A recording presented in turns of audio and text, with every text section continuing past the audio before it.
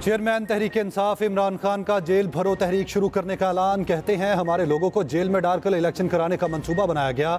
ये हमें खौफजदा नहीं कर सकते। अपना शौक पूरा कर लें, दोनों सूबाई निगरान हुकूमतें हमारे खिलाफ हैं। इम्पोर्टेड हुकूमत और उनके हैंडलर्स तहरीक इंसाफ को डरा धमका कर कमज़ोर करना चाहते हैं।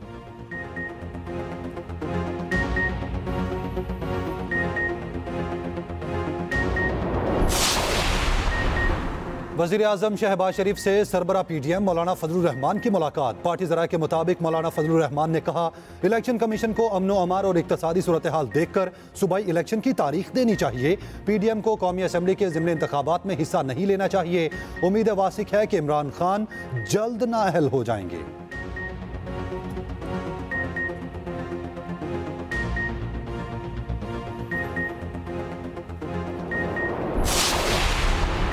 शेख रशीद के मजीद जिसमानी रिमांड के इस्तः मुस्तरद जुडिशल मजिस्ट्रेट का जुडिशल रिमांड पर जेल भेजने का हुक्म। दूसरी जानब अदालत ने सिंध पुलिस की शेख रशीद की राहदारी रिमांड की दरख्वास्त भी मुस्तरद कर दी। उधर शेख रशीद की दरखास्त जमानत पर फरीकैन को नोटिस जारी, समात पीर को होगी।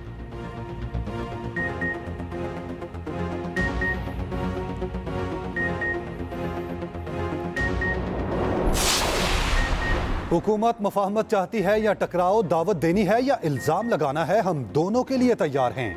पीटीआई ने बॉल हुकूमत के कोर्ट में फेंक दी।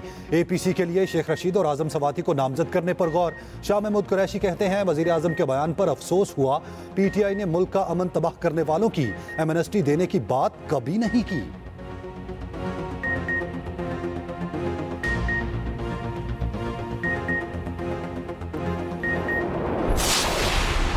ऑल पार्टीज़ कॉन्फ्रेंस में शिरकत से इनकार इमरान खान की फस्ताई जहनीत को ज़ाहिर करता है।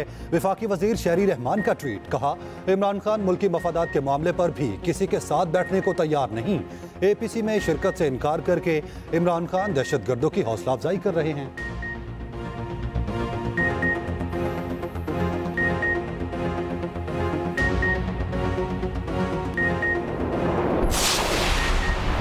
इलेक्शन के लिए मुशावरत ज़रूरी है। मौजूदा हालात को संजीदा लेना चाहिए। गवर्नर के पी हाजी गुलाम अली की मीडिया से गुफ्तगु। कहा, दो हफ्तों से कह रहा हूँ, सियासी जमातों और इदारों की बैठक होनी चाहिए। एक सियासी जमात से पूछें, किसके कहने पर ऐसे हालात में इस्तीफे दिए? ऑल पार्टीज़ कॉन्फ्रेंस में उन्हें फिर दावत दी है।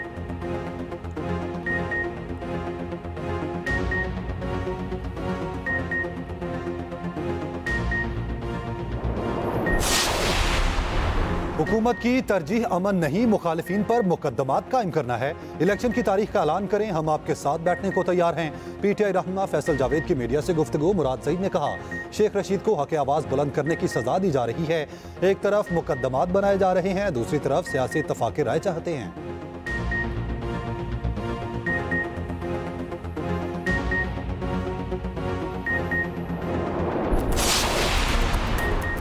और फिर सीटी बजेगी, खेल जमेगा।